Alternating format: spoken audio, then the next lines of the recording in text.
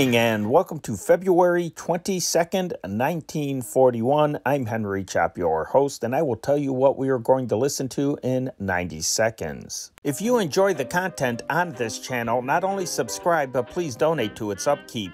Because of the vintage old time radio, films, and music that we feature, this channel does not qualify for YouTube monetization.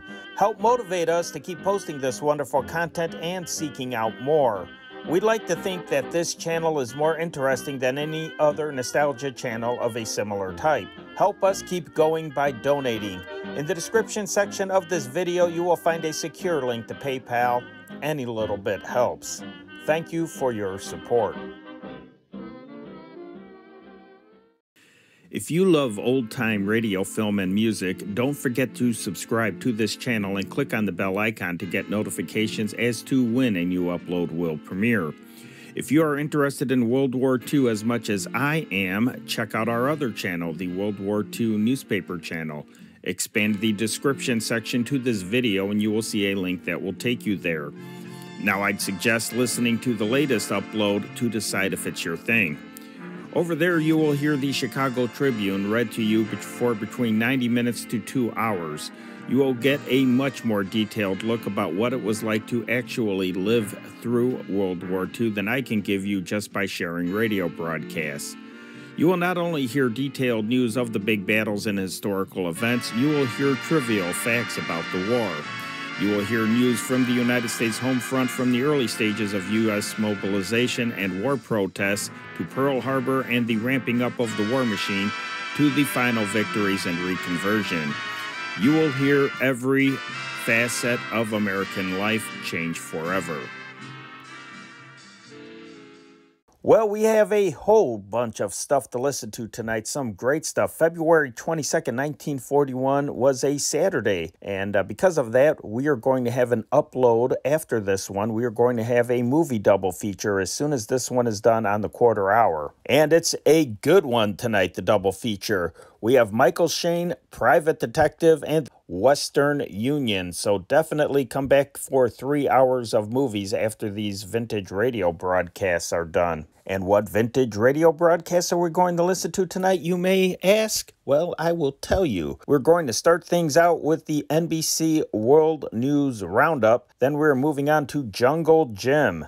Then we have front page drama and a great World War II story, The Burning of the Graf Spee. Then we have Edgar A. Guest and his uh, story, I'd Like to Leave Behind Daffodils. And then we have a program called The American President, and this one is titled George Washington American. This was Washington's birthday, and that was uh, back in the day for you younger people. Now we celebrate it as President's Day, but at least in Illinois, we used to have the day off of school for Lincoln's birthday and then again for Washington's birthday. Now I think nationally, they only had Washington's birthday off as a school holiday. So uh, it was a big deal, Washington's birthday back in the uh, 1940s, all the way up until the 70s. And then we're going to close out tonight's program with the Hit Parade, the Hit Parade Jukebox. You're going to hear the top 10 records of the week counting down. So, and of course, an extra, flashback extra, which I think you will find very interesting. So, uh, some great stuff tonight. I see the tubes are warming up on this old radio. Let's give this stuff a listen.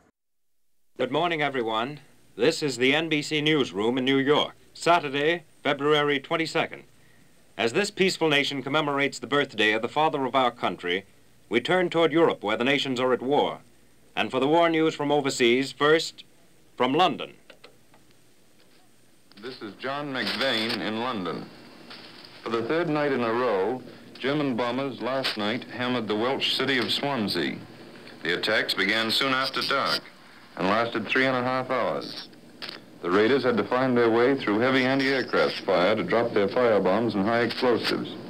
Once again, fires were started and houses, stores, and offices damaged. The first bombers dropped incendiaries. Later raiders followed with high explosives, and the attacks ended with another shower of firebombs. The casualties are not described as light. London had a single brief raid that began very late at night few bombs fell in the London area, but damage and casualties were slight. A fairly heavy anti-aircraft barrage lasted only a few minutes. One of the German bombers that raided western England is reported to have been shot down by anti-aircraft. A Hurricane pilot saw it crash in flames. It was stated in London today that British bombers last night attacked targets in western and northwestern Germany. Invasion ports and airfields in German-occupied territory were also raided. A German report on the raids mentions Heligoland Bight as one of the places raided. The main targets attacked by the RAF, it stated in London, were Wilhelmshaven, Emden, and the French port of Brest. A large number of heavy bombs were dropped. Industrial objectives in the Ruhr were also attacked, but bad visibility made it impossible to observe details of the results. A large fire was seen at Wilhelmshaven. Two British planes are missing. A couple of hours ago, 14 German planes crossed the English Channel coast but they were met by Spitfire fighters and driven back out to sea. Official circles in London have no confirmation today of the reports that the German entry into Bulgaria across the Danube has actually begun, but informed British quarters do expect that the open invasion of Bulgaria will begin in the next few days. It's thought possible that the more sensational reports of the German crossing of the Danube, coming from non-Bulgarian sources, may be part of the German war of nerves. However, it's felt that there are various signs that clearly point to the fact that the Bulgarian invasion is imminent. For some time, it's noted, the Germans have been quietly occupying various strategic points in Bulgaria.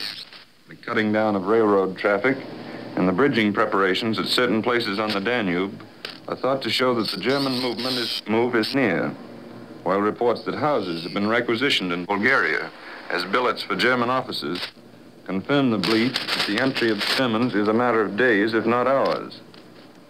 British commentators today emphasize that Germany's attempt at bloodless conquest of the Balkans has up to now been only partially successful. The resistance of the Greeks and the firmness of Turkey, they say, have held up the German plans for many weeks.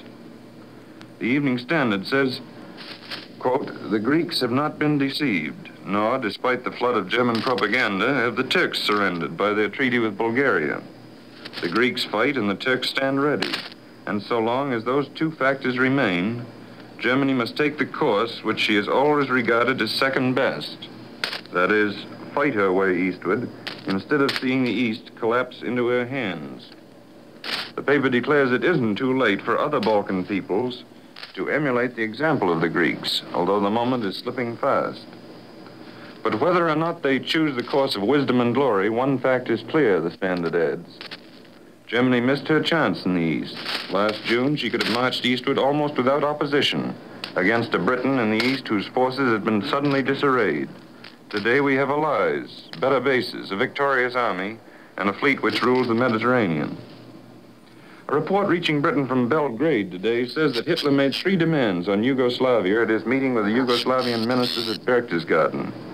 They were that Yugoslavia join the Axis or acknowledge its control of Europe, that Yugoslavia allow German troops and war materials to pass through, and permit the Luftwaffe to use Yugoslavian air bases.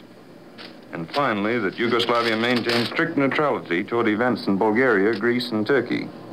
Boiled down, the demands mean that Yugoslavia was asked to allow herself to be conquered by Germany without putting up a fight. However, Yugoslavian circles in London doubt that any demands made were put in such specific terms.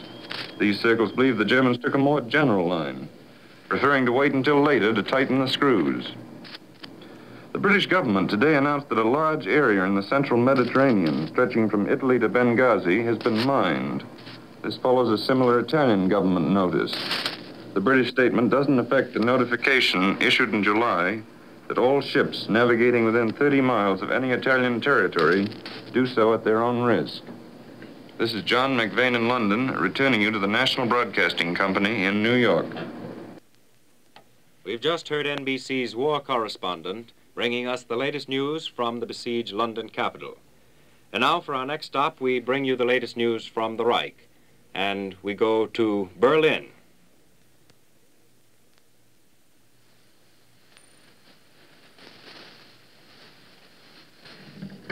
Hello, NBC. This is Charles Lanius in Berlin. Today, the Germans claim that British ships are sailing the seas disguised with the colors and flag of the United States. This accusation comes in today's German High Command report just released. The Supreme Command tells the story of the British merchant ship, Canadian Cruiser, a vessel of 7,178 tons. According to the Germans, one of their sea raiders put this ship to the bottom in the Indian Ocean, presumably yesterday. The German version of this encounter is that the Canadian cruiser had the American flag painted on its sides.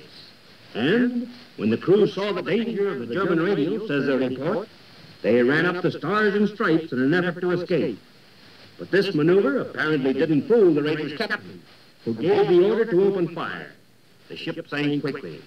At present, there are no other details, but they may come later in the day.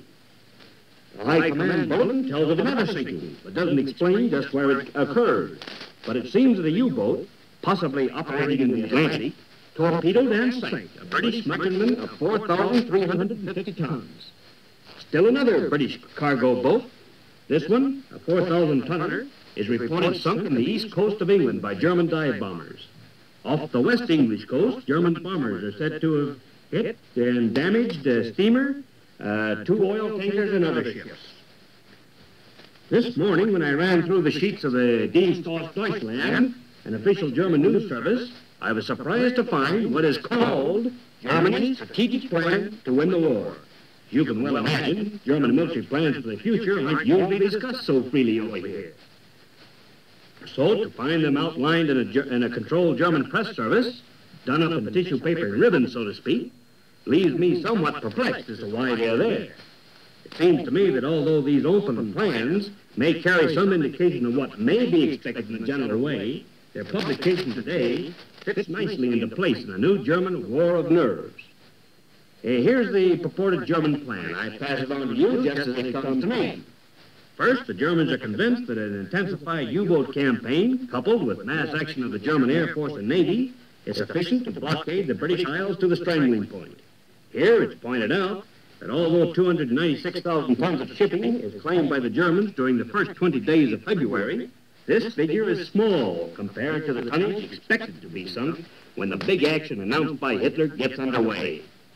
An indication that the time is not yet ripe can be seen in the statement that many U-boat crews are still making preparations for the campaign.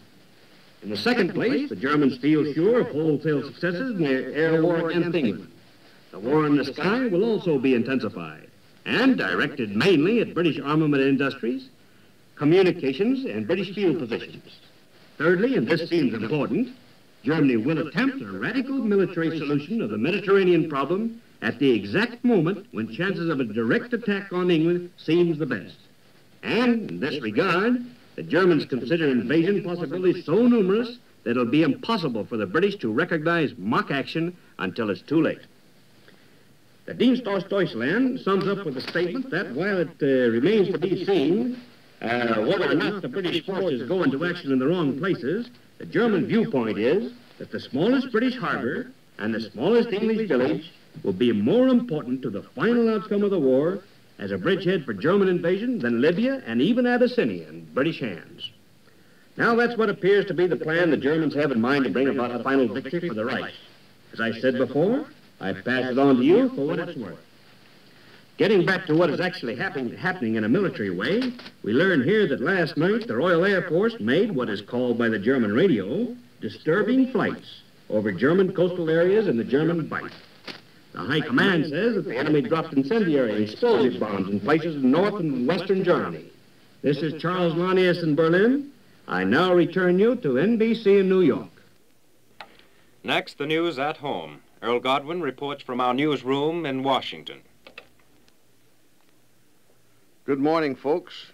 Washington's farewell address will get another chance on Capitol Hill today because it will be a part of the Senate debate on the lease lend bill. That historic address had a terrible time getting an audience in the House Thursday afternoon. John Rankin of Mississippi forced the Speaker to call for a quorum because only 30 members sat listening at that time, and the quorum call barely stirred enough members from their offices to make the meeting official. If they had not found 219 members, the House would have adjourned in the midst of Representative Magnuson's reading of that famous classic and the congressional record would show it. You know, which, by the way, that was never delivered as an, an address. It was written by the first president and handed to a Pennsylvania newspaper publisher who printed it as one of the first big scoops of the Western world. But other papers began to copy it and reprint it, and week by week, and really imagine the speed because in less than six weeks it had circulated across the wild and rugged frontier of the Blue Ridge and the Alleghanies and was known even as far west as Ohio. Today, stress will be laid by opposing sides on various sections of Washington's address the advice against permanent foreign entanglements, and the warning that the Republic had been led to freedom to avoid being too hateful or too friendly with respect to foreign powers.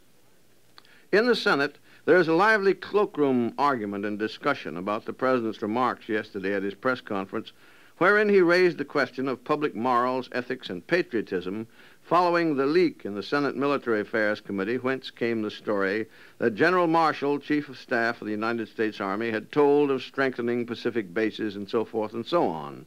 That was inaccurate stuff that finally was printed and broadcast, said the President to his press conference, but it should not have been circulated anyhow.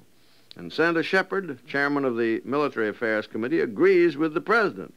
Washington newspaper men discuss the possibility of a censorship, the president flatly expressed himself in opposition to any idea of a, of a censorship. But Senator Wheeler of Montana, who, as you know, is a bitter opponent of the Lease Lend Bill, predicts a new censorship from Washington just as soon as the Lease Lend Bill passes.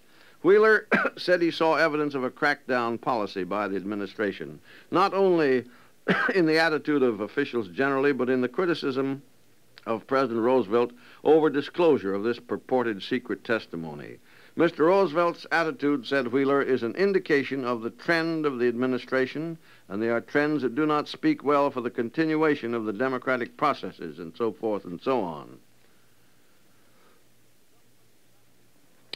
The government is adopting two new measures to strengthen its ties of friendship with Latin America. Purchasing officials here have decided to add more meat to Army and Navy diets, and some of this will be brought, bought in South America, notably Argentinian canned beef. Defense officials reveal that arrangements have been made with 11 nations below the Rio Grande to develop rubber producing facilities also. The Army is also arranging to make tremendous purchases of canned goods and non-perishable food, such as coffee and so forth, and sugar. In addition, the Army seems to be worried about cooks to cook all this food. If it is true what they say in New York, the Second Corps area, where they seem to be really disturbed about it, are asking the restaurateurs to help, the Army is really offering careers to good cooks and promises that they can get as high as the grade of sergeant and that their pay is better by an average of three to thirty dollars a month, better than the average enlisted men and non-commissioned officers. Up to now, we've been hearing about the lack of Army flyers, but they're getting right down to the level now when they complain that they can't get enough cooks. Earl Godwin says goodbye. That's the news from Washington at this time. And so ends this morning's report of the news. We've heard from our reporters in London and Berlin and from Earl Godwin in Washington. This is the National Broadcasting Company.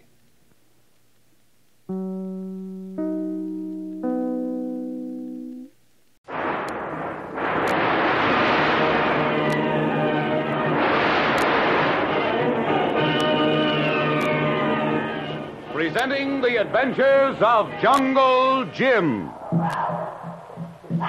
The Adventures of Jungle Jim, broadcast weekly over this station, are dramatized from the full color action pictures to be found in the Comic Weekly, the world's greatest comic supplement that comes to you each week with your Hearst Sunday newspaper. Join the 11 million adults and the 6 million youngsters who enjoy the world's greatest comic and adventure pictures by the world's best artists, featured in every issue of the Comic Weekly, which comes to you with your Hearst Sunday newspaper.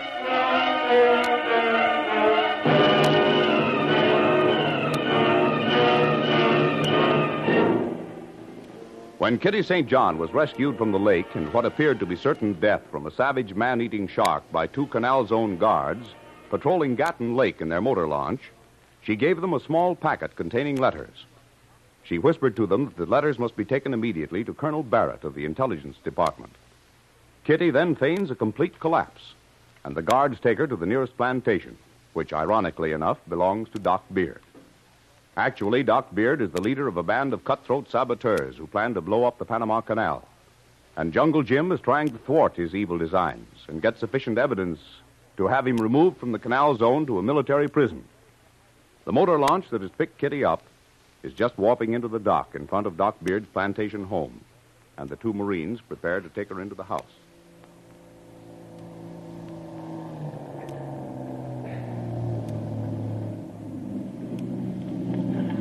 Easy now. Fasten the stern line. Yeah.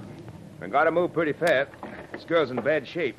Oh, oh, I swallowed some water. You'll be all right in a minute. Here, here, throw this coat around you. I feel dreadful. I feel so sick. Oh, chin up, sister. We'll have you in the house there in no time. Here. Let me help you. The letters. Huh? The letters. You won't forget the letters to Colonel Barrett. Don't worry, lady. We'll get them to him. We've got to put on an act now. Come on, Don.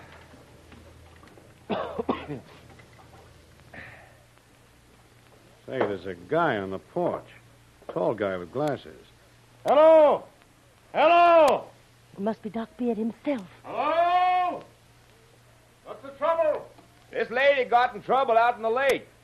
Shark almost got her. Shark? Shark, good heavens. Yeah, if we hadn't had the machine gun ready, it might have been too bad. Oh, the girl must be frightened to death. Come on, bring her up to the house. Oh, oh, it was awful. There now, Kitty, you're all right. Hot oh. drink. Wrap you up in blankets. You'll be all right. Right up the steps here, sir? yes, right through the screen door. Take her into the living room. Yes, sir. There you are. Right through here now. Yeah, put her on the couch there. I'll call the houseboy. There eh, you are. Here, Duck Beard. Me help? Oh, Kolu. You here? When did you get back? Me come back just now. Missy Kitty hurt? No, scared a little. Got too far out swimming and almost become shark bait. Kolu, bring a hot drink and blankets. Yes. Boys, just put her on that couch. I'll take care of her now. Oh, I feel awful. Well, you've had a bad scare, my dear. Everything's going to be all right now. Just rest and try to forget it. Yeah, and keep out of that lake, lady. It, it ain't no aquacade. That's right. And say, buddy, we better get going on our patrol. Uh, Doc, do you think everything's all right now? Yes, I'll see that she's given every care. Here, hot drink, sir. Hot lemon drink. Have water boiling on stove. Make fast. Fine. Thank you, Kolu. Oh. Kitty. Oh. Here's your drink. Eh.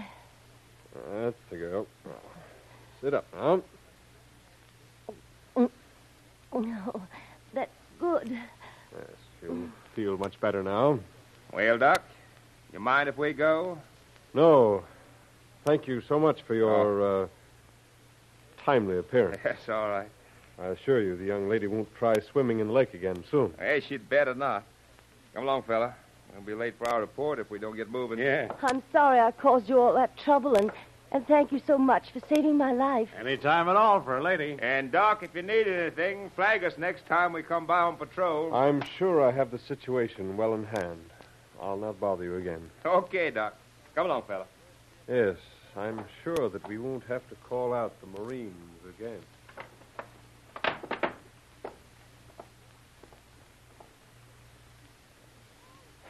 Gee, after talking to that guy, I think maybe that girl's on the level. He's a cool customer, all right.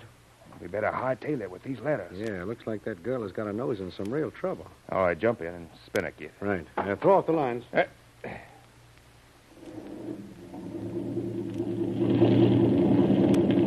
Give her the gas.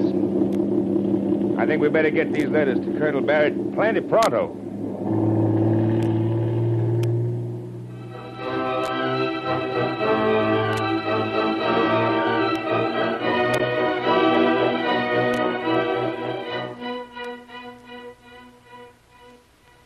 Kolu. Kolu, that you? Yes, it's Tuan, Jim. Me here. Everything okay? Yes, Tuan. What happened in the house? Did Kitty's plan work? Maybe yes, maybe no. What do you mean? First, Kolu think we better get back in tunnel more. Yeah, that's right. The car door to the tunnel caved in when you fired that shot, Kolu. But fortunately, this passage is usable. Lucky we found this tunnel right under Doc Beard's house. Sure. Now this place all right. Stand close to wall. Right. Now, what happened to Kitty? Missy Kitty tell Doc Beard she go for swim in lake. Then she go. Great heavens, that lake is too big for her to swim across. See Kitty find that out. She swim out in lake. Doc Beard, he send Pedro after her. Pedro? Then what? He swim like fish. He almost catch Miss Kitty. What happened then? Shark see Miss Kitty. Swim for her. Shark, Kolu? How did a shark get into the lake? Kolu not know. But guards come by in put boat. Got machine gun. Brrr, no more shark. And and they picked up Kitty? Yes. They pick up Missy Kitty. Put in boat. Well, thank heaven she was saved. Uh, well, did they take her away again? No. Take Missy Kitty Doc Beard's house. Well, of course, that was the only sensible thing to do. That's why Kolu say maybe yes, maybe no about Missy Kitty plans. She gave letters, soldier man, I'm sure. Then if Colonel Barrett gets the letters today, maybe... Maybe what, Tuan Jim? Maybe we'll be able to spike the plans of J7. But first, we've got to explore the rest of this tunnel. Take long time, tunnel very long. And come along anyhow. Now tell me, Kolu, you're sure Miss Kitty is all right? She scared and she wet, but Doc Beard give hot drink, hot blankets. All right now. Oh, good. I've been afraid that she might get... What's that noise? Sound like somebody coming. Quick here. Through this old door at the tunnel. Push it open, Kolu. Oh, this door heavy, Tuan. Ah, that's fine. Now, quick, inside. What? What's this? Look like cellar in Doc Beard's house. Yeah, it is the cellar. And here. Here. Kolu, hide behind this wall. There's someone coming. Quiet, Kolu. We'll soon find out what and who this is.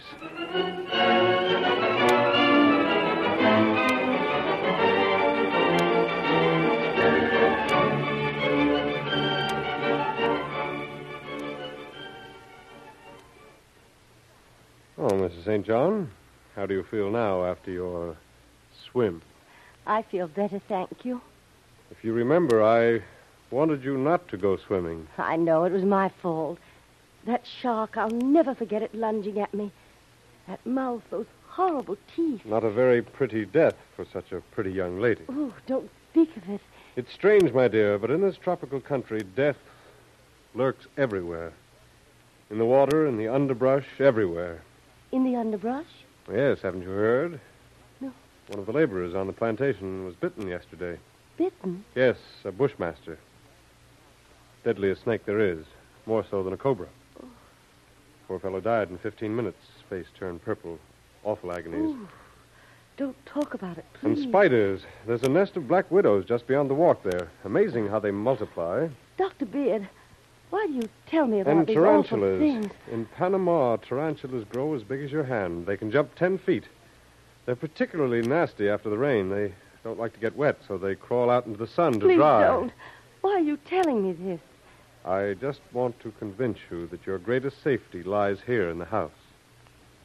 You see, if you went out, who knows? I won't go out now. That's why I've taken every precaution to see that no harm can befall you. Now, you wouldn't want to wander away from the house, would you? Or take another swim, perhaps? Oh, no, no, no. Oh, then you see the wisdom of my taking every precaution for your well being. I see. I understand perfectly. And to make absolutely sure that your, shall we say, impulsiveness doesn't lead you out of doors too far, I have my guards posted. Guards? Yes. Cleverly concealed, but always there, nevertheless. For instance, if you went for a walk, They'd they'd... stop me? No. They'd be there to kill the snakes or the spiders. Snakes and spiders. Yes, the black widows, the tarantulas, and the bushmasters. You see, my dear, I'm doing all I can to protect you. You're a very thoughtful host, Dr. Beard. For my guests, nothing is too good. Well, if you'll excuse me, I think I'll lie down for an hour or so. I still feel weak. An excellent idea, my dear. As for me, I have some work to do. Then I shall go to my room. Right. Pedro, Pedro. I can go to my room alone. I don't need Pedro to show me. I want Pedro for quite another purpose, my dear. Oh. Well, master. Yes, Pedro. I have some work for you to do. Follow me. Si, senor. Come along, Pedro. We must go to the cave again. You want electric wires this time? No, Pedro. It is not yet time for the electric wires. This time we must make sure that all our materials are in good working order. All is bueno, master. The boxes I have piled so neat, like you say. Yes. Through the cellar. Over to the wall. Now, the little knob. This door makes squeak, master. Yes, it needs oil. Oil it, Pedro. See. I shall go into the cellar. And the little surprise I'm planning there will be heard around the world. it is a conceit, no, Pedro. Heard around the world. si, senor.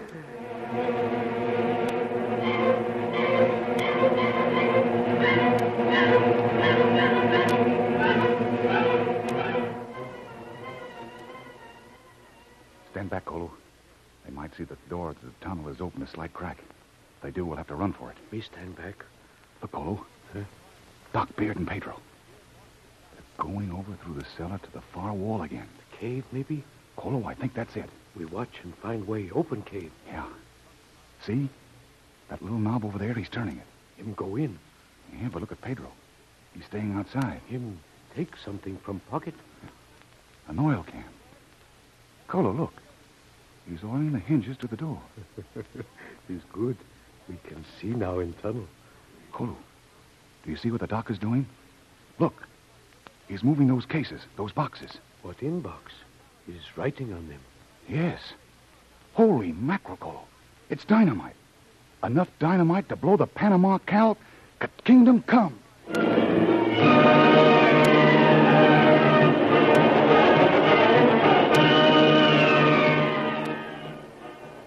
Jungle Jim and Kolu have stumbled on what may be the most important discovery of their lives.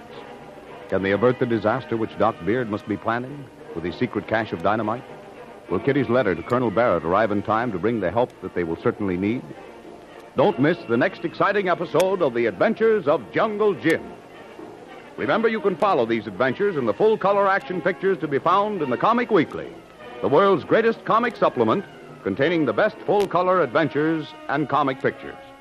Remember, no other comic supplement can give you the top names of cartoon land like the all star favorites to be found in the Comic Weekly. The whole family follows the fun and frolics of Jiggs and Maggie and the little king and the immortal Donald Duck, as well as the exciting adventures of Flash Gordon and Jungle Jim. Join the 11 million adults and 6 million youngsters who every week find the greatest of home entertainment in the Comic Weekly, which comes to you with your Hearst Sunday newspaper. More thrilling adventures of Jungle Jim will be heard at this time next week over this station. Be sure to tune in.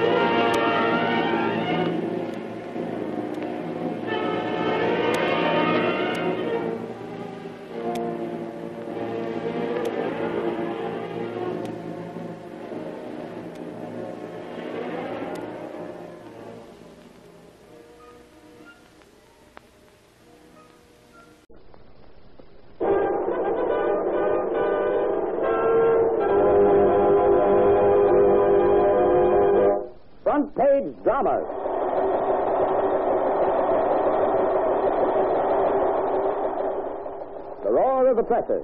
Every week, these giant presses roll and keep rolling at tremendous speed. 15,000 an hour until every last one of the 7 million copies of the American Weekly has gone through in full color. Great fiction. Interesting features. Factual articles. Color illustrations. All these are found in every issue of the American Weekly. All these go to make up the nation's reading habit. Another name for the American Weekly, which comes to you every week with your Hearst Sunday newspaper. 170 years ago, on February 28th, the first decisive blow for American independence was struck at Providence, Rhode Island, when a party of bold colonial seamen met to organize the daring expedition which destroyed the British warship, the Gaspé. This week's front page drama commemorates this anniversary with an original radio dramatization of this first bid for American freedom, which was struck nearly three years before the historic battles of Lexington and Concord. It was the descendants of these gallant seamen that manned and sailed the famous Yankee clippers, and whose exploits are now told in the current feature, When the Yankee Clipper Ruled the Seven Seas, which is now appearing in the American Weekly, the magazine with the greatest circulation in the world, that comes to you each week with your Hearst Sunday newspaper. In the tap room of Sabin Tavern, the proprietor, together with John Brown and Ephraim Bowen, are seated earnestly discussing an item of news appearing in the Providence Gazette. Uh, Read that again, Ephraim. All right. Listen carefully now. A number of His Majesty's seamen from the crew of the armed schooner, the Gaspé, that has been for some time past cruising in the river, interrupting the traders, firing on oyster boats and molesting general shipping, landed on the Narragansett shore a few days ago and carried off several hogs and quantities of firewood belonging to the inhabitants. Those who offered resistance to the armed marauders were seized and sent to Boston for trial. That's all. My thunder, that's enough. How long are we going to put up with such tyranny? We stood peaceably by and let this Duddingston and his crew ride roughshod over us. He's a worse tyrant than his Royal Highness and roundaboutness, George the Third, who sends those armed thugs to collect his iniquitous taxes. Well, we have done all we can legally to protect ourselves from these acts of seizure and robbery.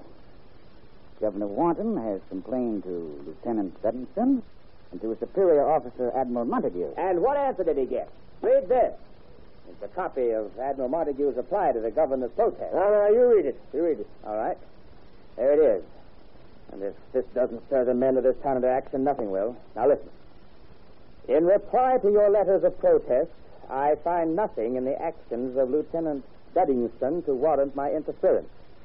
Lieutenant Duddingston has done his duty and behaved like an officer and a gentleman. And it is your duty as governor to give him your assistance and not endeavor to distress the king's officers for strictly complying with my orders. I shall give them directions that in case they receive any molestation in the execution of their duty, they shall send every man so taken in molesting them to me.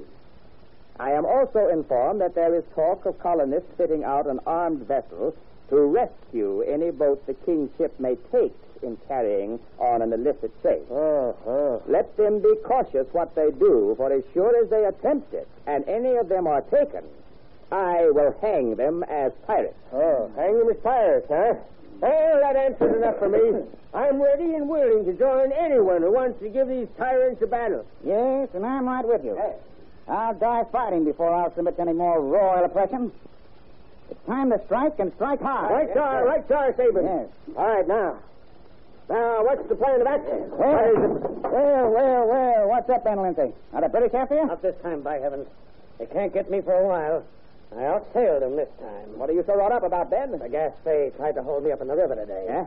But I was a little too fast for them, and my sloop, the Hannah, led them a merry chase. Good for you, Lindsay, good for you. Up there at the Narrows, about seven miles below the town, the Gaspé tried to catch me at the turn by coming between me and the shore. Yeah?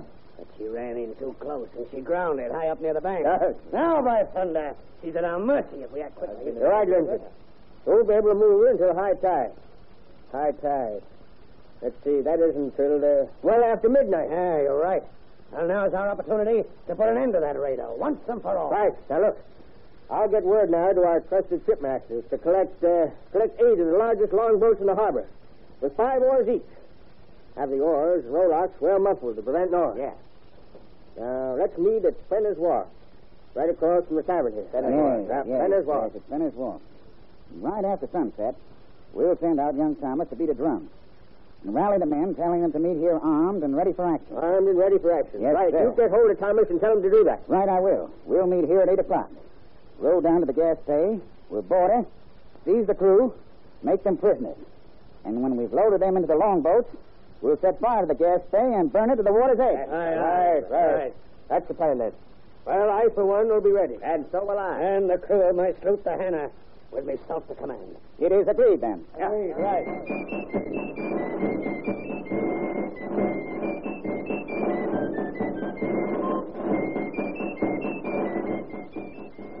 That night in historic old Sabin Tavern, a hardy band of colonists gathered armed and ready for the great adventure. Ready to strike the blow for American independence. Just before nine o'clock, Captain Lindsay called the roll. Boat number one, taking up the left flank under the command of Captain Hopkins. Right crew, roll accounted for. Present ready. Right. Boat two under the command of Captain Benjamin Dunn. Everyone present and accounted for. Boat number three under the command of Colonel Lee from Bone. Well, correct. Present and ready. Boat number four, taking up the right flank under the command of Captain Abe Whipple, Sheriff of Kent County. All present and accounted for. Right. Well, very well, gentlemen. Let us be off. Single file, men, and remember, no talking. No talking. No talking. Take your seats quickly, and on my signal, pull out into the river and wait for the other boats. Lead the way, Captain Whipple.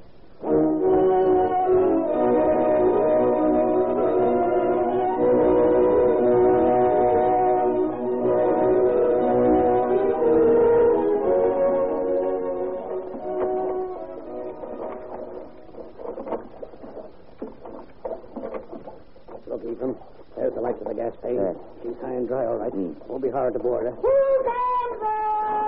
Looks like you'll arouse the whole crew bellowing that way. Yep, but there goes Captain Whipple's boat. Start alongside. All right, sir. Who comes there? Answer in the name of the king. Halt! Halt in the name of the king! Halt and give the countersign! Who goes there? I am the sheriff of the county of Kent. Look, get it in hide! Go off! Put away!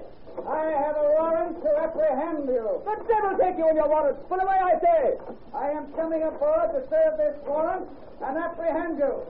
So surrender! Surrender be damned! You set one foot aboard this vessel and I'll have you thrown in irons, you insolent dog!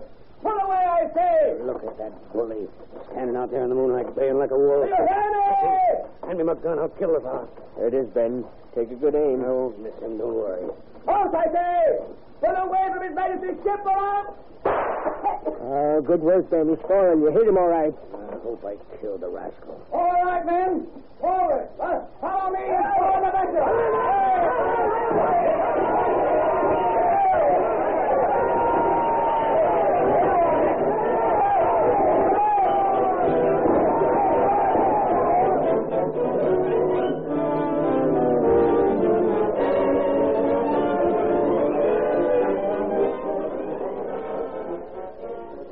Back in the boats, Captain Whipple.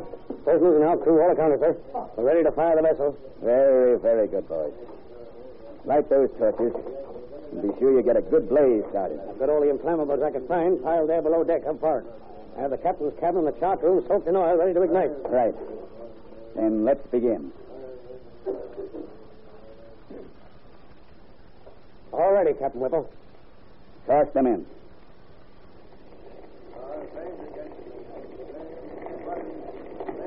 There, there, the flames are taking hold. Aye, she'll burn all right. We better pull away before the flames reach the powder room forest. Yes, right you are. Let's be off.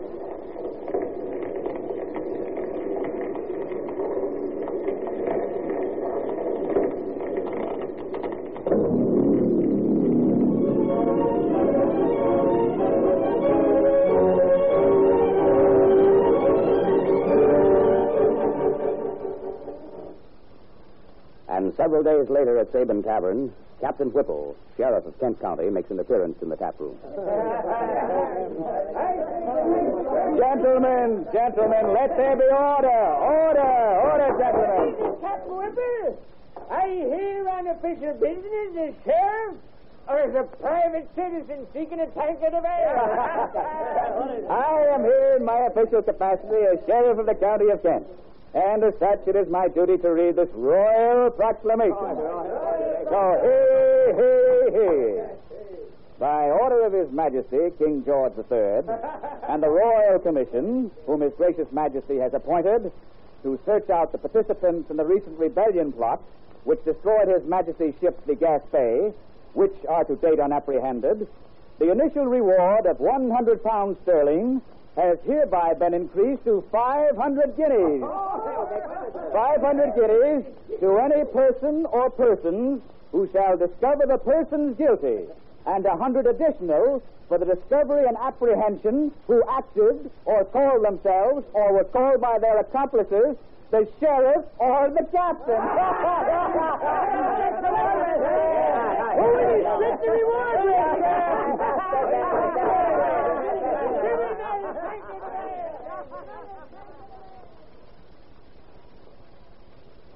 Needless to say, their handsome reward of 500 guineas was never collected.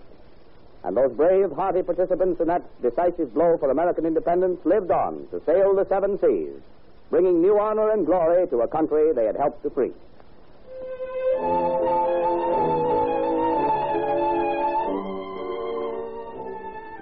You've just heard the front page drama, The Burning of the Gaspé, commemorating the 170th anniversary of this dramatic chapter in the War for American Independence. The descendants of these bold, daring seamen were the men who carried out those early traditions of the sea in the famous Yankee Clippers, a history of which is now being featured currently under the title When the Yankee Clippers Ruled the Seven Seas in the American Weekly, the magazine with the greatest circulation in the world that comes to you with your Hearst Sunday newspaper.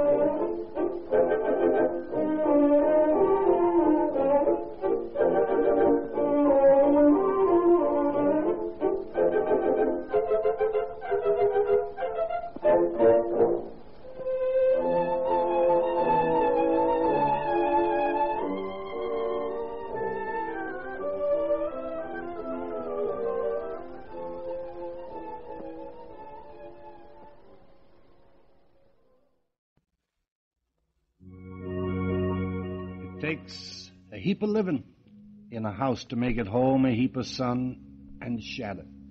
From the land of the sky,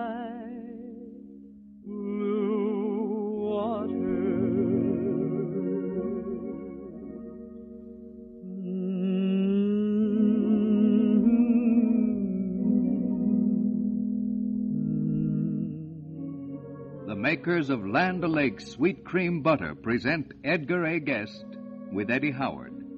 A bit of music, a bit of verse, a bit of common sense to make your next 15 minutes a bit brighter. from the land of the sky, blue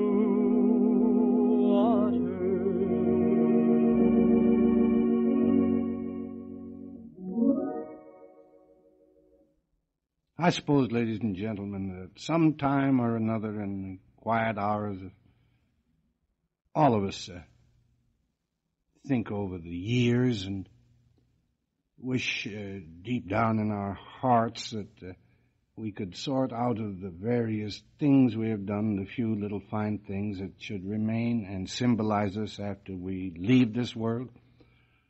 I know many a winter night by the great fire I I regret the hasty things that I've done and hope they'll be forgotten and that at the close of the journey only a few of the simple, finer little acts of mine will be remembered.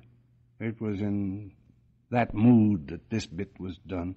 I'd like to leave but daffodils to mark my little way, to leave but tulips red and white behind me as I stray. I'd like to pass away from earth and feel I'd left behind but roses and forget-me-nots for all who come to find. I'd like to sow the barren spots with all the flowers of earth, to leave a path where those who come should find but gentle mirth. And when at last I'm called upon to join the heavenly throng, I'd like to feel along my way I'd left no sign of wrong. And yet the cares are many and the hours of toil are few. There is not time enough on earth for all I'd like to do, but having lived and having toiled, I'd like the world to find some little touch of beauty that my soul had left behind. There's a beautiful land called somewhere at the end of my trail of dreams. There's a glorious day called someday, a part of all my schemes. There's a wonderful path called someone who's waiting for me. It seems just around the bend from the rainbow's end in that beautiful land called somewhere.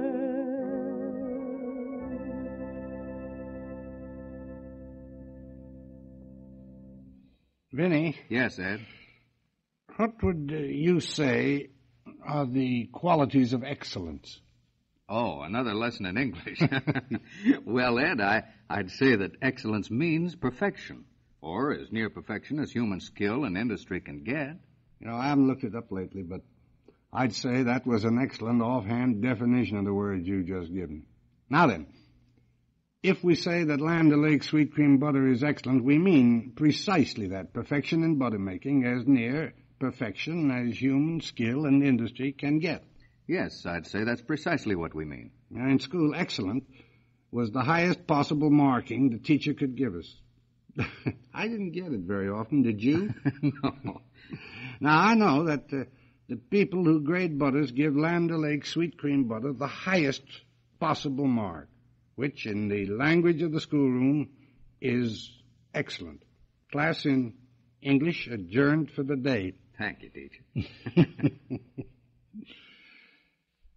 When she was small, almost every night I had to be her special doctor. Every little hurt of the day was mine to kiss away and cure. Now she's older grown and every night she runs to me with a bandaged arm or a bandaged knee, a stone bruised heel or a swollen brow and in sorrowful tones how she fell and hurted herself today while she was having the bestest play. And I take her up in my arms and kiss the new little wounds and whisper this, Oh, you must be careful, my little one. You mustn't get hurt while your daddy's gone. For every cut with its ache and smart leaves another bruise on your daddy's heart. Every night I must stoop to see the fresh little cuts on her arm or knee, the little hurts that have marred her play and brought the tears on a happy day. For the path of childhood is oft beset with care and trouble and things that fret. Oh, little girl, when you older grow, far greater hurts than these you'll know. Greater bruises will bring your tears around the bend of the lane of years, but come to your daddy with them at night, and he'll do his best to make all things right. Little girl, come dry your tears. Let a smile shine through. Kiss me and forget your fears. Daddy's close to you. Hold my hand and close your eyes. Sit upon my knee. You are far too young to cry. Time enough, you'll see. Your own Prince Charming in just a few years will come a riding, and when he appears, he'll take away from me that little girl to me. But Dad will smile and dry his tears. Little girl, let's see you smile.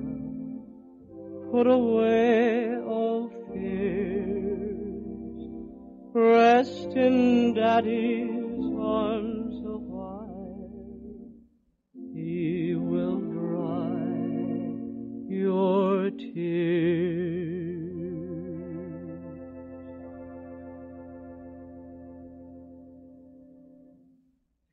I guess every woman knows that it's difficult to keep butter fresh and appetizing when the weather's hot. On extremely warm days, the minute you take the butter out of the refrigerator, it begins to get soft and melt. And most women take that as a matter of course. They don't realize that there's a big difference in butter. They should take a tip from those discriminating housewives who always use Land O'Lakes sweet cream butter. As one New England woman writes, quote, Land O'Lakes butter tastes sweeter and fresher than any other butter, and my family are ever so particular about the flavor of butter.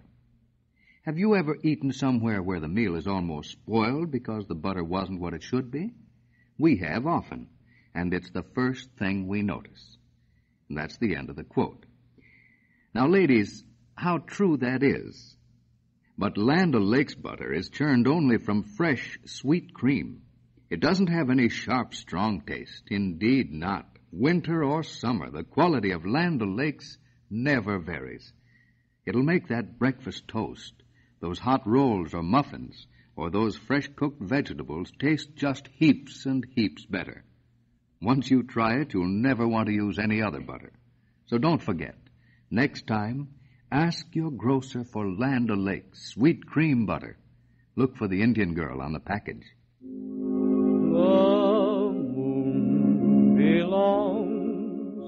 To everyone. All the best things in life are free. The stars belong to everyone. They gleam there for you and me. The flowers in spring, the robins that sing, the sunbeams that shine, they're yours, they're mine. And love can come to everyone, for the best things in life are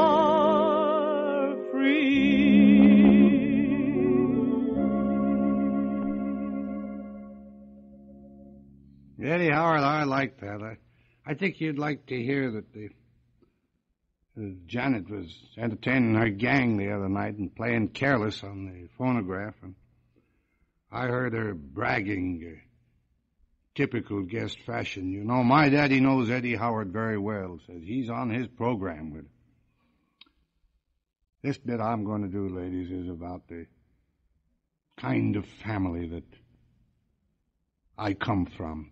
Not one of the modern uh, small one child, two child families, but a regular family. It makes me smile to hear 'em tell each other nowadays the burdens they are bearing with a child or two to raise.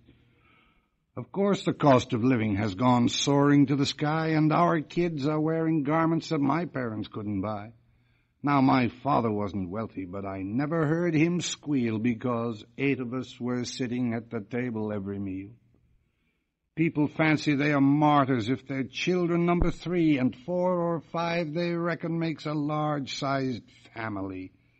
A dozen hungry youngsters at the table I have seen, and their daddy didn't grumble when they licked their platters clean. Oh, I wonder how these mothers and these fathers up to date would like the job of buying little shoes for seven or eight. We were eight around the table in those happy days back then. Eight that cleaned our plates of pot pie and then passed them up again. Eight that needed shoes and stockings. Eight to wash and put to bed and with mighty little money in the purse, as I have said. But with all the care we brought them and through all the days of stress, I never heard my father or my mother wish for less. From the land of the sky, blue water,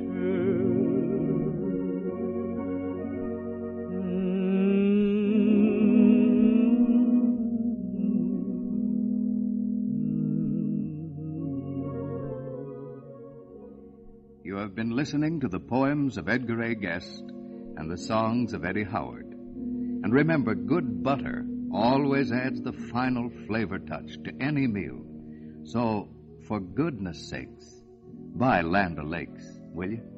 This is Vincent Pelletier speaking. From the land of the sky, blue water.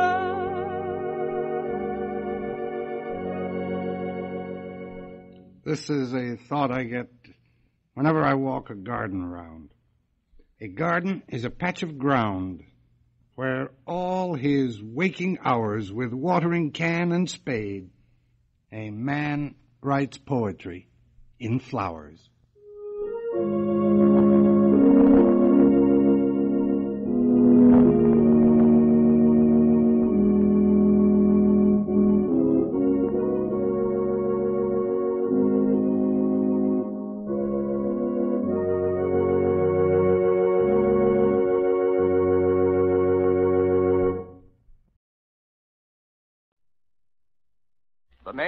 George Washington has become a symbol of liberty and freedom wherever man has read the records of history.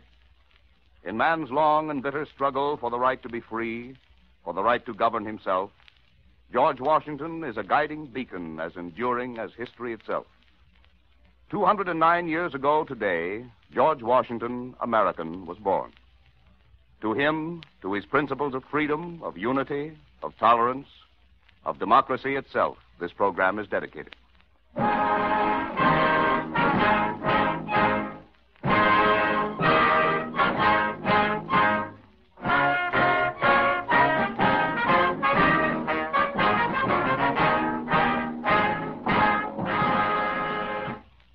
unity of government, which constitutes you one people, is also now dear to you. It is justly so, for it is a main pillar in the edifice of your real independence, the support of your tranquility at home, your peace abroad, of your safety, of your prosperity, in every shape of that very liberty which you so highly prize. The name of American, which belongs to you in your national capacity, must always exalt the just pride of patriotism more than any appellation derived from local discriminations. With slight shades of difference, you have the same religion, manners, habits, and political principles. You have, in a common cause, fought and triumphed together. The independence and liberty you possess are the work of joint councils and joint efforts, of common dangers, sufferings, and successes.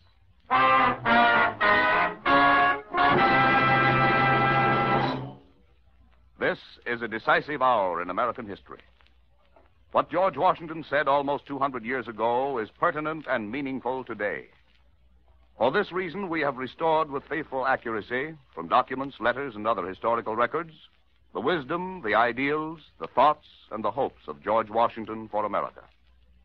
Playing George Washington will be the distinguished actor, writer, director, Orson Welles. I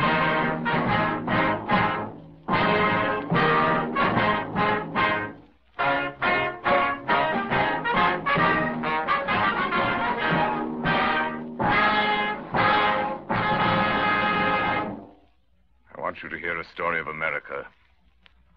A story of a people who came here to find a refuge of hope and security.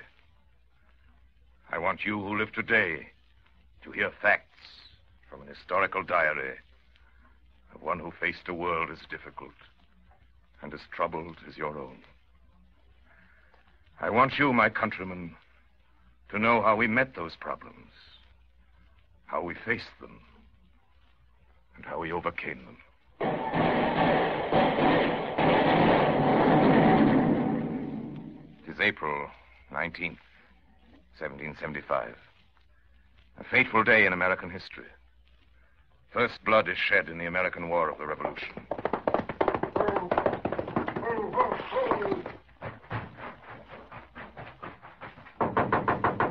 Who is it? Courier from the Continental Congress. Just a minute. What is it? Important dispatch, sir. Oh, let me see it. You are hereby requested to attend the special meeting of the Second Continental Congress, which will sit in Philadelphia in May this year 1775, for the purpose, among others, choosing a commander in chief of the Continental Armed Forces. Signed John Hancock, President of the Congress.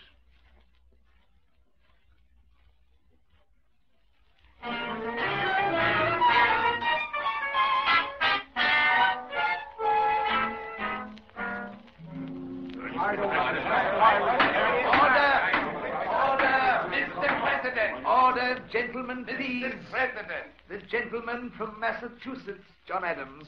Mr. President, members of the Congress, I believe that the Commander in Chief of the American Army should be a man satisfactory to all. We want Virginia to support our New England cause. Therefore, we should give our suffrage to a Commander in Chief from Virginia. Mr. President! The gentleman from Virginia, Edmund Randolph. I propose Colonel William Byrd, No. commander of the Virginia forces. No, no. I nominate General Andrew Lewis, that gallant soldier from Virginia. No. no. He has neither the experience nor the ability. I protest, sir. And so do I, your. Order!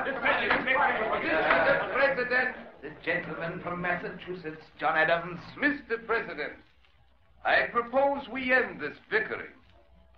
I name for your consideration Colonel George Washington as Commander in Chief of the Continental Army. Mr. President. The gentleman from Virginia, Patrick Henry. If you speak of eloquence, there are others more experienced. If you speak of solid information and sound judgment, Colonel Washington is unquestionably the greatest man on the floor. I propose we take a vote. Order, order. All in favor? Aye! Opposed? Then it is carried. Colonel Washington, this Congress has nominated you to be General and Commander in Chief of the Army of the United Colonies. Will you accept the position tendered you? Yes, gentlemen, I accept it. Though I'm truly sensible of the high honor done me in this appointment, yet I feel a great distress from a consciousness that my abilities and military experience may not be equal to the important trust. However, if the Congress desire it, I will enter upon the momentous duty and exert every power I possess in the service and for the support of this glorious cause.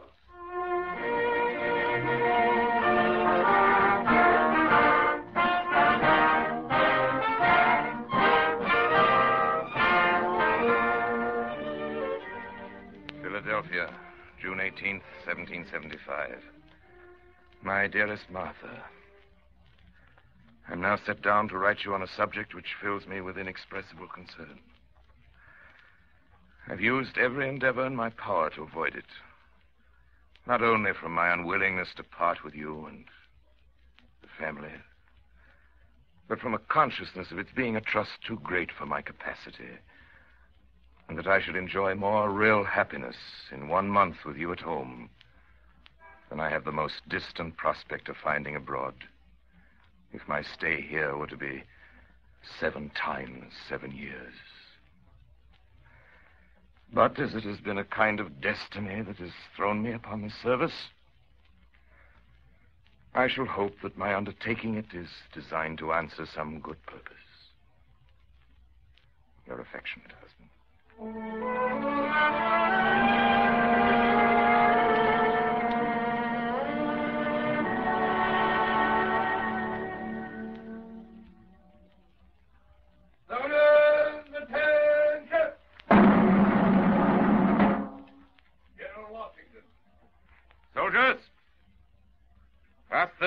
Continental Congress of our nation drafted the document which I hold here in my hands.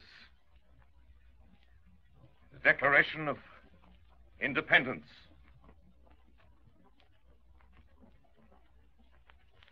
Read it to you. When, in the course of human events, it becomes necessary for one people to dissolve the political bands which have connected them with another, and to assume among the powers of the earth the separate and equal station to which the laws of nature and nature's God entitle them, a decent respect to the opinions of mankind requires that they should declare the causes which impel them to the separation. We hold these truths to be self evident that all men are created equal, that they are endowed by their Creator with certain unalienable rights, that among these are life, liberty, and the pursuit of happiness. That to secure these rights, governments are instituted among men, deriving their just powers from the consent of the governed. That whenever any form of government becomes destructive of these ends, it is the right of the people to alter or to abolish it, and to institute new government, laying its foundations on such principles and organizing its powers in such form as to them shall seem most likely to affect their safety and happiness. And for the support of this declaration, with a firm reliance on the protection of divine providence, we mutually pledge to each other our lives, our fortunes, and our sacred honor. Our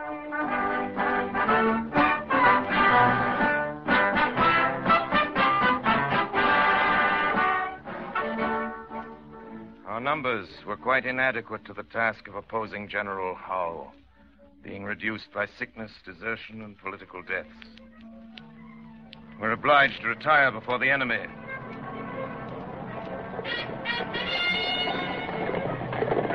New York, north into White Plains. We retreat across the river to New Jersey. Across New Jersey to the Delaware.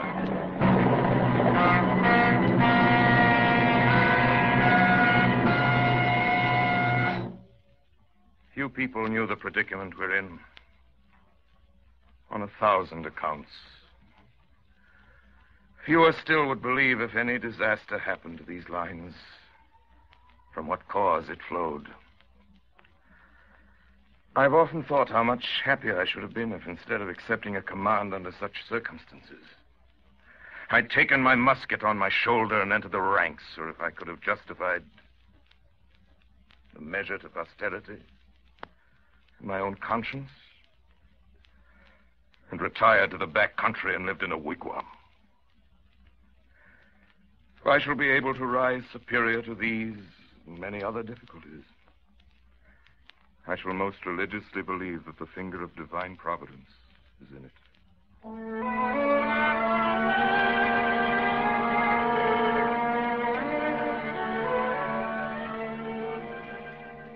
The hand of Providence would seem to be in it indeed. For on Christmas Eve, we attacked Trenton, capturing 23 officers and 866 men. Justice to the officers and men, I must add that their behavior reflected the highest honor among them. Princeton, too, we established ourselves more firmly on the Delaware. The odds soon told. For at Brandywine, our small army was beaten and forced into retreat.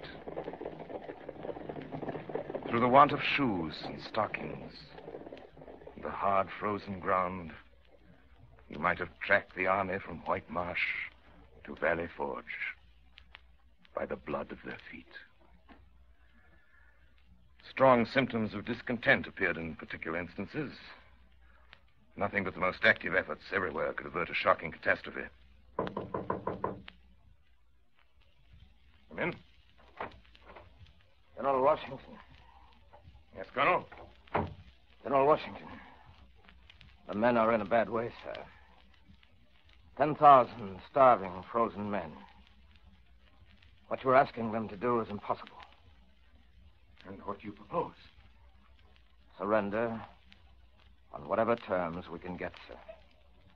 Mm-hmm. Are you cold, sir? Of course. Hungry? Yes? And discouraged? Discouraged.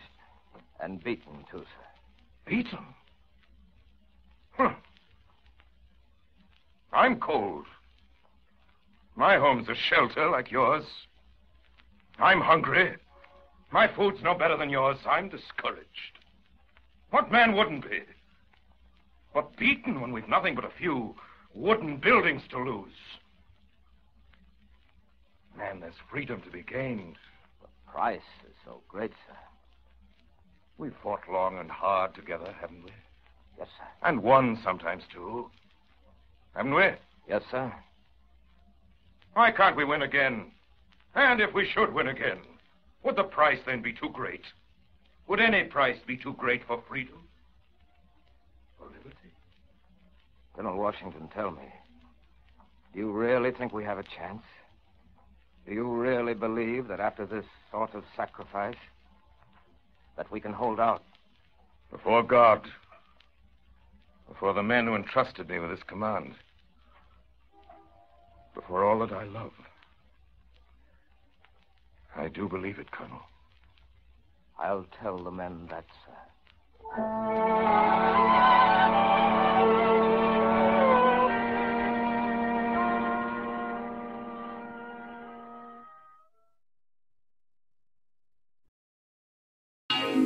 Your Hit Parade. The top tunes all over America as determined by your Hit Parade survey, which checks the bestsellers in sheet music and phonograph records, the songs most heard on the air, and the songs most played on the automatic coin machines. An accurate, authentic tabulation of America's taste in popular music. Your Hit Parade. I'm Henry Chap with a pocketful of nickels for the Hit Parade jukebox. Let's count them down. The first song in our countdown is by a band leader who got his start in music when, as a child, he entered a contest hoping to win a pony. He won a violin instead, and his parents arranged for music lessons. Here is Ted Weems holding steady this week at number 10 with May I Never Love Again.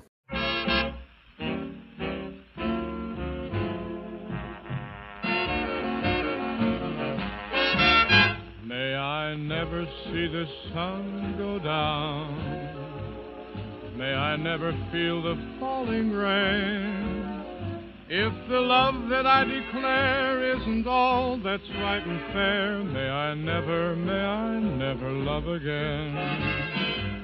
May I never see the blue of the sky, nor the moon and stars down Lover's Lane.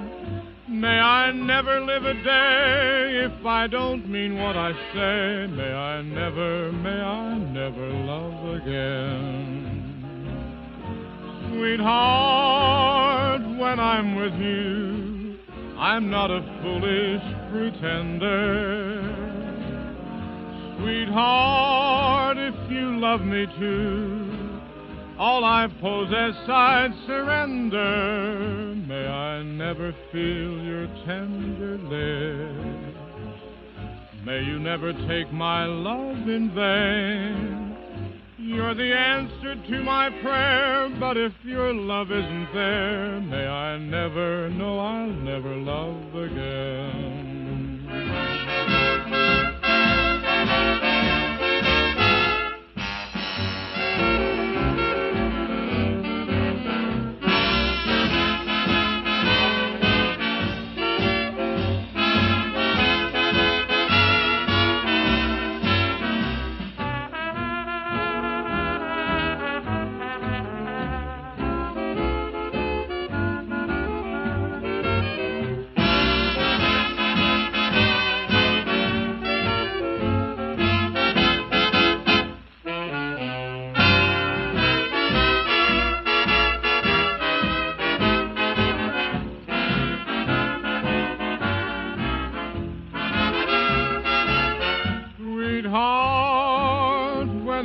With you, I'm not a foolish pretender. Sweetheart, if you love me too, all I possess I'd surrender. May I never feel your tender lips. May you never take my love in vain. You're the answer to my prayer, but if your love isn't there, may I never, never, no, I'll never, never love again. The next song did not chart last week, but it was number 10 two weeks ago. Harry James's wife, Mary Louise Tobin, is the songbird on this hit. She was born on the day World War I ended, November 11th, 1918. She is still alive in 2022 at the age of 103. Our number nine song is There'll Be Some Changes Made by the Benny Goodman Orchestra.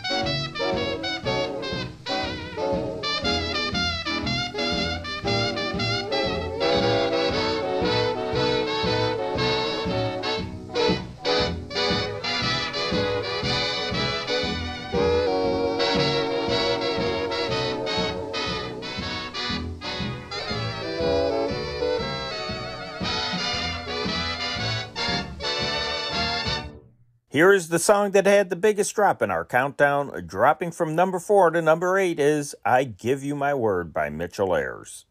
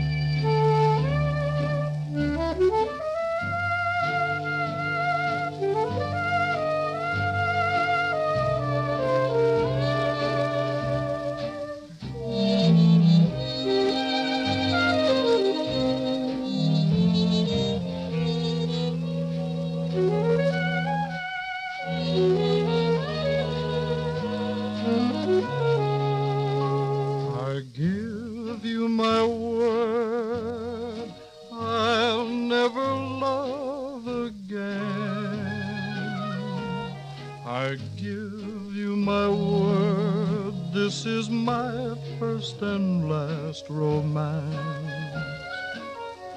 I gave my lips, my heart and soul to you.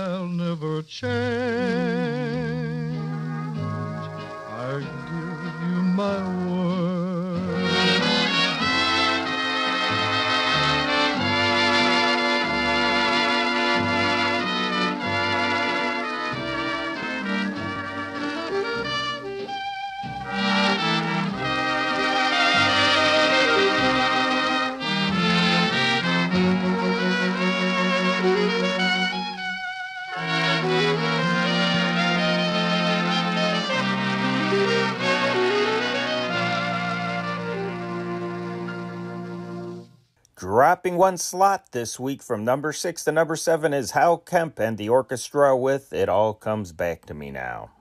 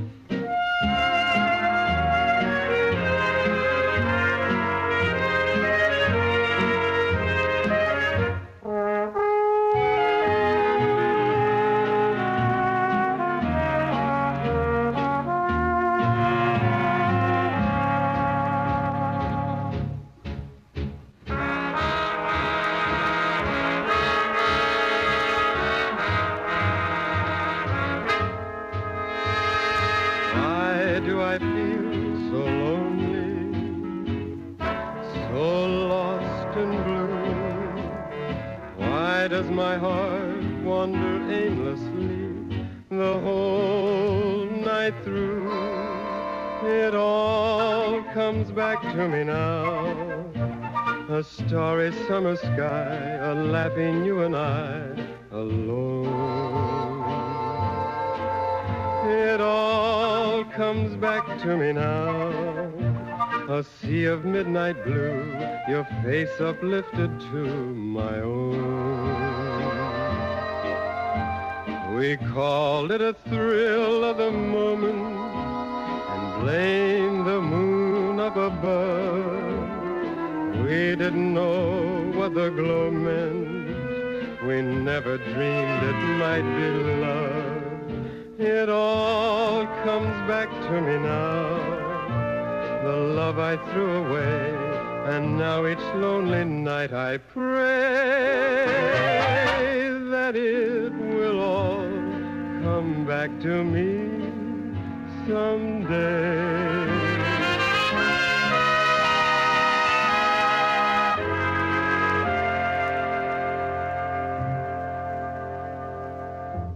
The song moving up from number seven to number six is by a band led by Benny Goodman's former drummer. Here is the Gene Krupa Orchestra and High on a Windy Hill.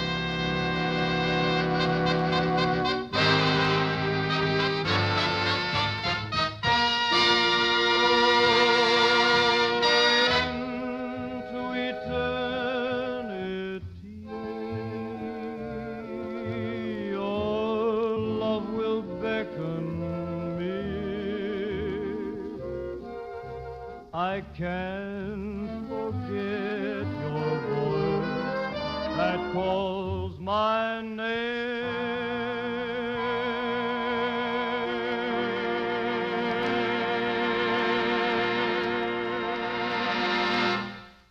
And now it's time for our flashback. This week's song was recorded on April 20th, 1939. It is a song protesting lynchings of black Americans in the South, which compares the victims to the fruit of trees. This song has been called the beginning of the civil rights movement.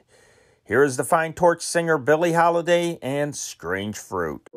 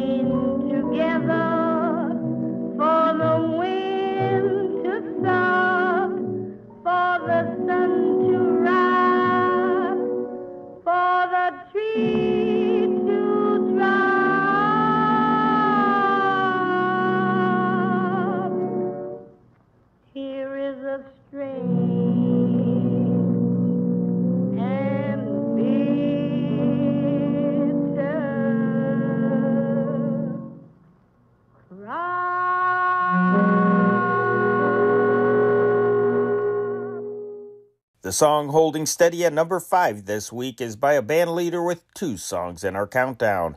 19 year old Janet Blair sings it. Here is the late Hal Kemp and his orchestra with So You're the One.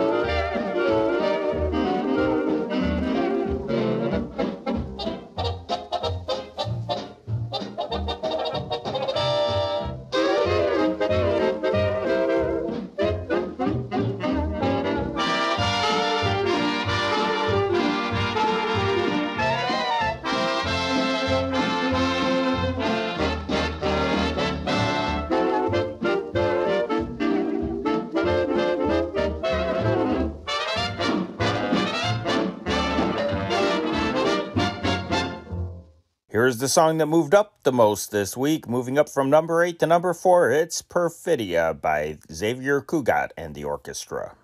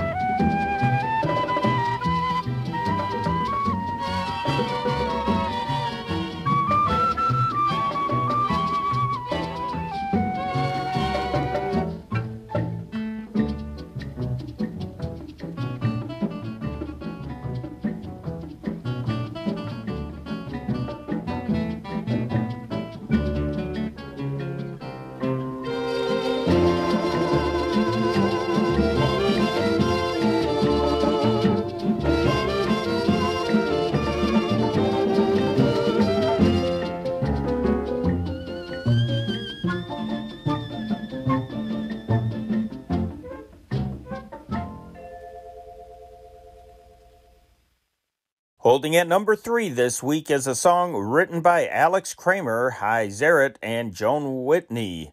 Here is You Walk By by Eddy Duchin and the orchestra.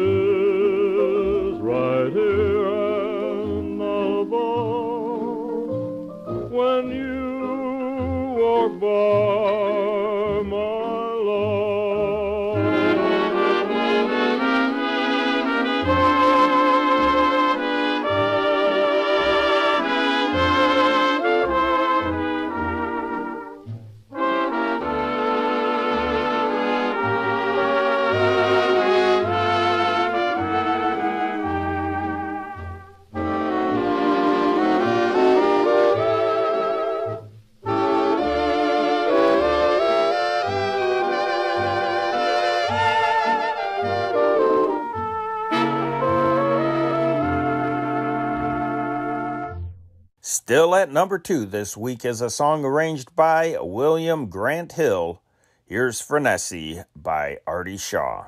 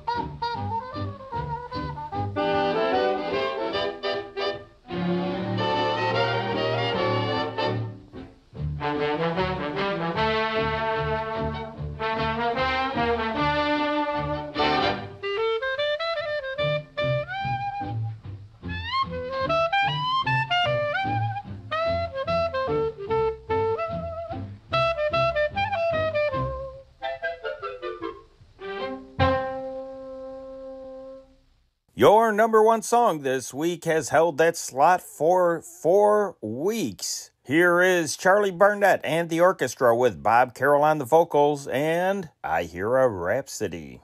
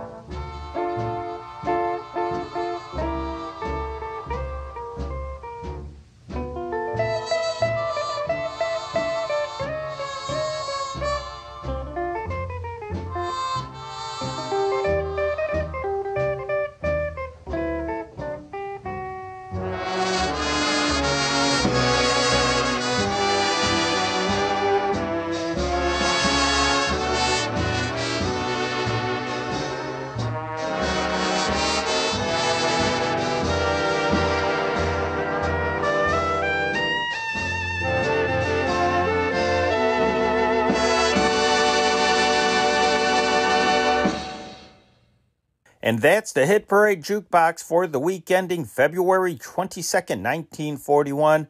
I'm Henry Chap. So long for a while. So long for a while. That's all the songs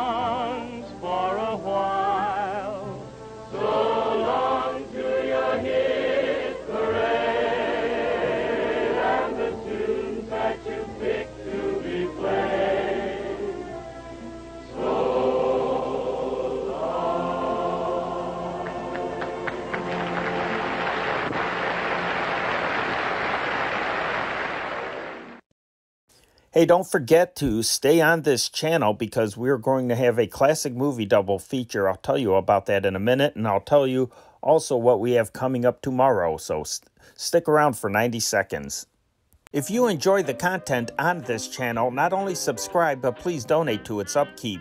Because of the vintage old time radio, films, and music that we feature, this channel does not qualify for YouTube monetization. Help motivate us to keep posting this wonderful content and seeking out more. We'd like to think that this channel is more interesting than any other nostalgia channel of a similar type. Help us keep going by donating. In the description section of this video, you will find a secure link to PayPal. Any little bit helps. Thank you for your support.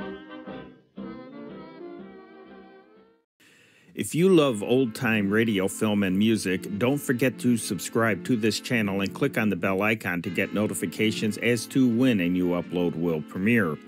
If you are interested in World War II as much as I am, check out our other channel, the World War II newspaper channel. Expand the description section to this video and you will see a link that will take you there. Now, I'd suggest listening to the latest upload to decide if it's your thing. Over there, you will hear the Chicago Tribune read to you for between 90 minutes to two hours. You will get a much more detailed look about what it was like to actually live through World War II than I can give you just by sharing radio broadcasts. You will not only hear detailed news of the big battles and historical events, you will hear trivial facts about the war. You will hear news from the United States home front from the early stages of U.S. mobilization and war protests to Pearl Harbor and the ramping up of the war machine to the final victories and reconversion. You will hear every facet of American life change forever. Well, stick around as soon as this upload is done, this video is done. We were going to have a classic movie double feature, The Late Late Show, I like to call it, you know, because back in the early days of television, the TV that I was growing up with, we didn't have Turner Classic Movies. The only time they showed old movies was either in the afternoon, uh, you know, when retired people were at home, or for The Late Late Show. And tonight we are going to have Michael Shayne, private detective, and the and Western Union. So some great, really great movies tonight. So definitely sit back and relax. Get your uh, Raisinets and uh, popcorn and maybe a soda and just sit in your easy chair. And you got some great old movies tonight.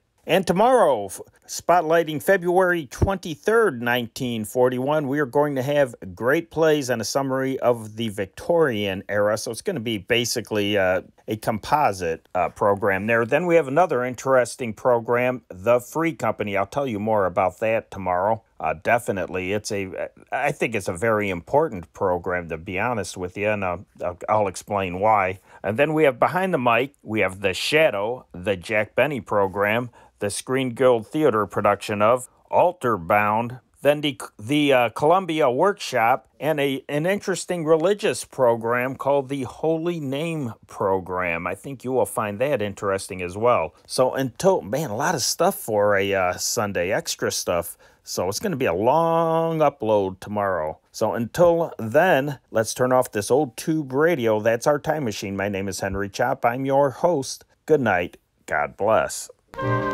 This changing